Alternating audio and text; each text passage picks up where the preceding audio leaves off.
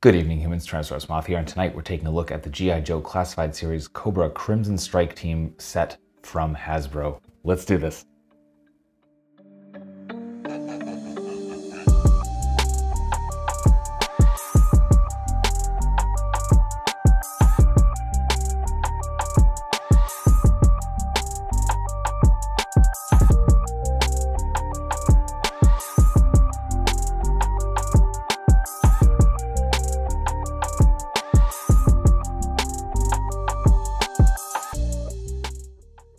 Aesthetically speaking, this is a great looking set. And uh, we're actually going to start off with uh, the twins, Tomax and Xamot, um, just because they are basically the same figure for the most part. And uh, we're going to get into that one later. There we go. so, uh, so Tomax and Xamot, yep, we got the, you know, again, kind of a reverse sculpt, but uh, as they had, the design team had told it, like, you know, you, you can't just flip the sculpt. So they did have to actually sculpt each of these figures uh, which is kind of amazing, especially as symmetrical as they came out.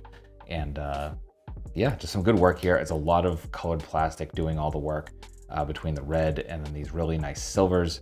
Uh, we got a little bit of paint with the, the gold and the black, uh, but then we get the gold plastic up here that is definitely in line with the paint. The paint's a little brighter, but only slightly and uh, I think that's definitely again an achievement. Uh, but beyond that, you know, some nice textures all over, like got nice wrinkles in the cloth, making it look a little more natural.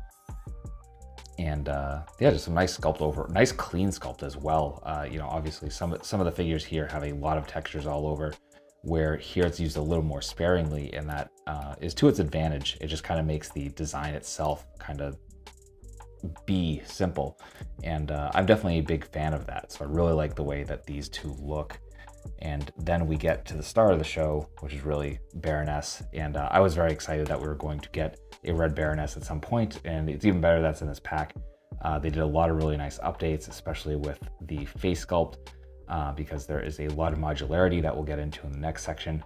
But um, you know, the face sculpt is great. The body is more or less what we had seen before with the original Baroness release, uh, just repainted with some nice silver touches here on the boots, and then cast mostly in red plastic with the exception of the chest plate, which is now with this nice metallic red. And I love metallic red, uh, red being one of my favorite colors, and just you metallicize it and it looks amazing. And I, when I saw that that was how this was going to be presented, I was very, very happy. And they, they absolutely nailed it. It just looks incredible. And uh, yeah, beyond that, again, we've we've we actually get the update with the um, double jointed elbows as well, which is a very welcome addition. One of my gripes with that original figure. So uh, yeah, other than that, they just like, other than that, in addition to that, yeah, they just really nailed this group. We get so many different accessories, but uh, you know, we're gonna start off with Tomax and Xamot because they have the same loadout, um, and that starts with this little submachine gun uh, cast in this beautiful gold plastic. Really love the way that looks. Great sculpt all around. Pretty sure this has been in the line before as well. So there's that. Then we get a couple of daggers, both of which can be have sheaths on the figure itself. So just the cast in that gold plastic again. We get some silver paint here on the blade. Then we get what I thought was a piece of dynamite, but I realized they connect to one of uh, Baroness's uh, accessories. So I'm actually not sure what this is. Let me know in the comments if you know. uh, this is that's completely new to me, but I've obviously got a lot of detail work there with the dots and you know there's a gold tip here and uh, see where that goes in a second. And then we get couple of stands. So here this says, you know, cast, it's all gold, very bright gold, very nice. The Cobra logo, we get Crimson Strike Tomax on the front there.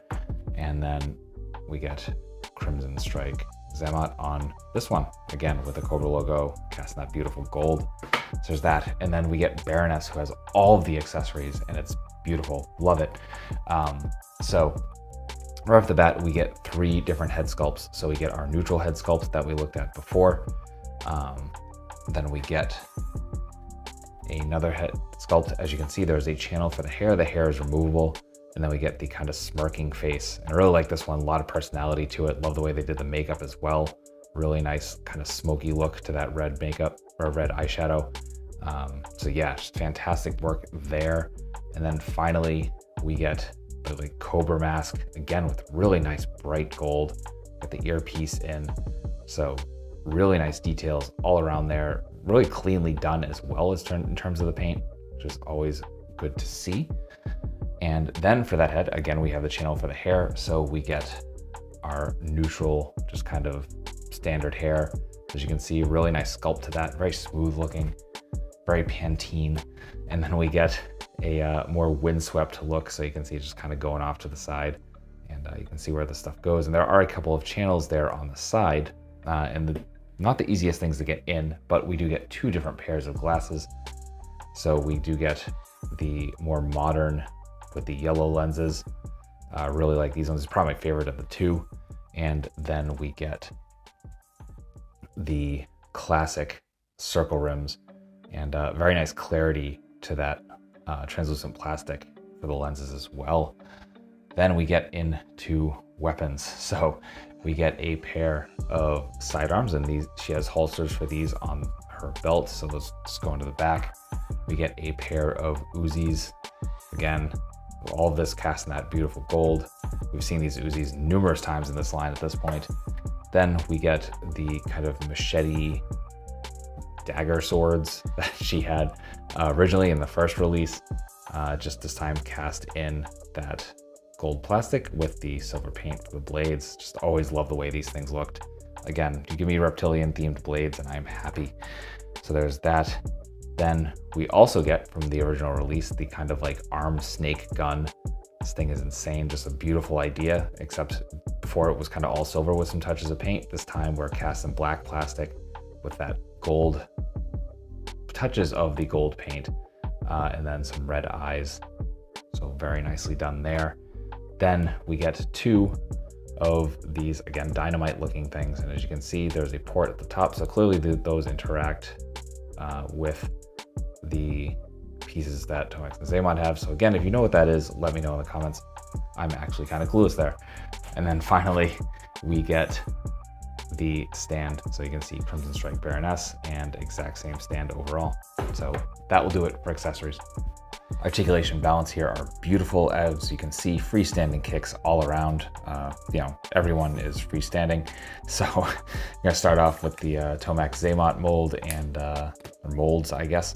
And uh, we pretty much get everything we've expected. So we get a ball joint uh, dumbbell slash what have you here at the head into the neck. The neck is a separate piece. So we get a lot of down, we get a lot of up, we get some decent tilt as well, and of course rotation. Then we come to the arms, we do get some butterfly. Uh, it is that kind of constricted butterfly, so not really, I don't know, one, one of those I kind of question why they put it there, but it is there and it does help a little bit. Uh, we do get into our T, we have bicep swivel, double jointed elbows bring us to there. We do have hinge and swivel, so all vertical pretty much across all three, which is fantastic. Then we get to the diaphragm and we are our standard ab crunch, but we are going very, very far forward, very, very far back, and uh, not really any tilt, but we do get rotation because we have a ball joint here at the waist. Then we get down to the hips and we do have drop downs. So that allows us to get full splits, absolutely no problem. Our front kick is a perfect 90. We do get thigh swivel. We get double jointed knees, bring us to there. We do get boot cut. We get really perfect point, not really any forward, but some nice rocker. So that will do it for them. And then we get into Baroness. Let's see if they'll stand. Yes. So Baroness, freestanding kick again. So same scheme for the most part. There's a couple differences here. So uh, again, we get that barbell joint from the head into the separate neck piece, and this feels like it functions better than it did on the original figure. So you get some really, really nice down, not getting any up because this hair is just not gonna let us go anywhere. Uh, we do get some nice tilt though, and of course rotation. We do have butterfly joints. So as you can see, very generous, actually more generous than Tomax and Xamot. Then we get hinge and swivel here at the shoulders, come up to an perfect T. We do have bicep swivel, double jointed elbows finally, completely in half, totally beautiful. Hinge and swivel, again, vertical on both of the wrists. Then we get ball joint at the diaphragm, ball joint at the waist, and uh, these work These feel like they work better than they did on the original figure. Feels like there might be a slightly better cut. But uh, so we do get some decent forward, get some incredible arch back, and uh, then some very nice side to side. So that is very, very much welcome. For our hips, we do have drop downs, just as we did with the other figures. We get full on splits. Our front kick is perfect front. Then we get thigh swivel, double jointed knees bring us there. Unfortunately, we do not get boot cut or uh, calf cut. Unfortunately, there's one change I was hoping they would do here, but unfortunately not. So uh, nothing going on there. Then we get to the feet, perfect point, a little bit of forward, and then some rocker. So that's articulation. Getting the size comparisons, here they are with all the Crimson classified figures we have so far. With some other Hasbro and some Mattel. With some imports. With some monsters.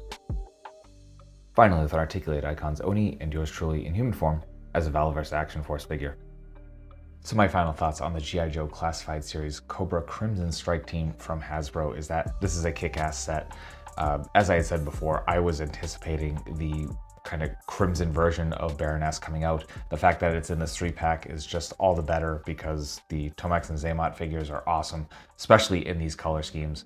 And uh, yeah, can't recommend it enough. So honestly, if you're collecting classified series, if you're just a G.I. Joe fan, if you, like me, are just weirdly obsessed with the whole Crimson angle with the Cobra stuff, then uh, you know, absolutely worth picking up. And this is actually still available from Hasbro Pulse where it is an exclusive. So uh, I'll have that link in the description below. So uh, yeah, if you found this review informative and some entertaining, hope to see you back because I do multiple reviews a week of action figures related to tokusatsu, dinosaurs, monsters, pro wrestling, and more. So if any of that um, appeals to you, uh, if multiple things there appeal to you, then come on back. Let's escape the world for a while and just have some fun. And uh, just ultimately, I hope you are well. I hope that all of your toy dreams come true. And most importantly, I hope that you and yours stay weird, simians.